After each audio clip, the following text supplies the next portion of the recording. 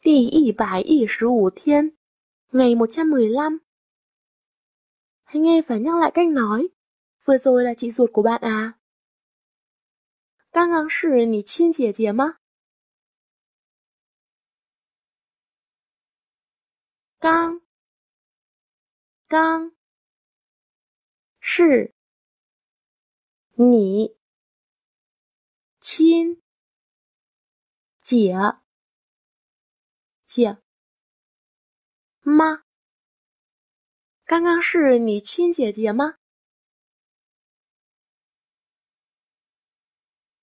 刚刚是你亲姐姐吗？Bây giờ hãy nhắc lại các từ ngữ sau bằng tiếng Trung. Dĩ nhiên là có thể à.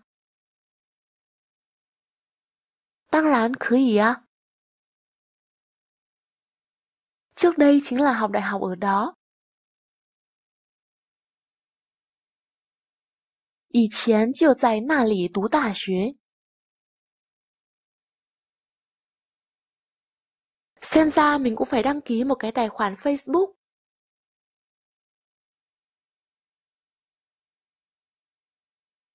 Khả lái 我也得注册一个脸书账号。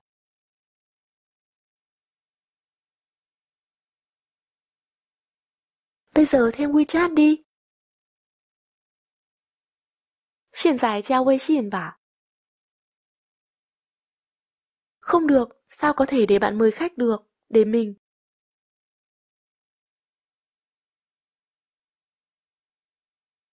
Bù xính, 怎么能让你请客？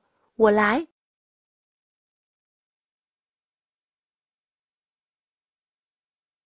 Thực đơn của tiệm chúng tôi. 我们店的菜单。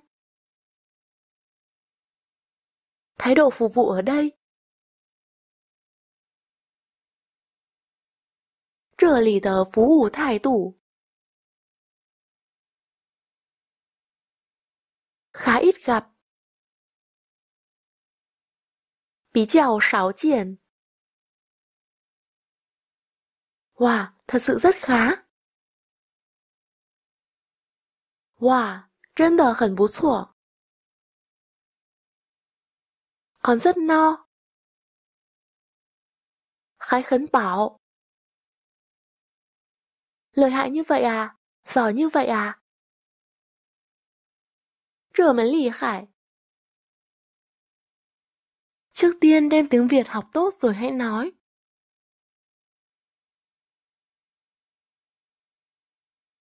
先把越南语学好了再说。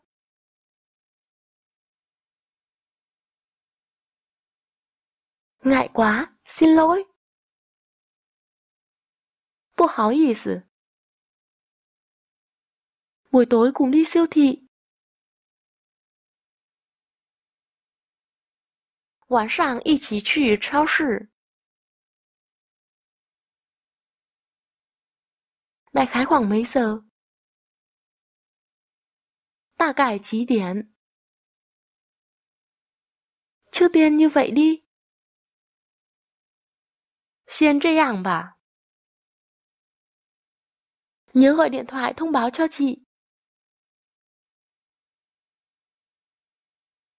记得打电话通知我。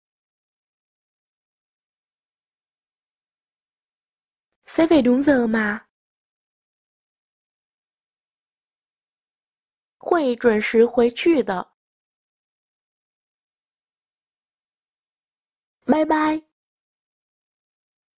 拜拜。Vừa rồi là 刚刚是 chị gái ruột 亲姐姐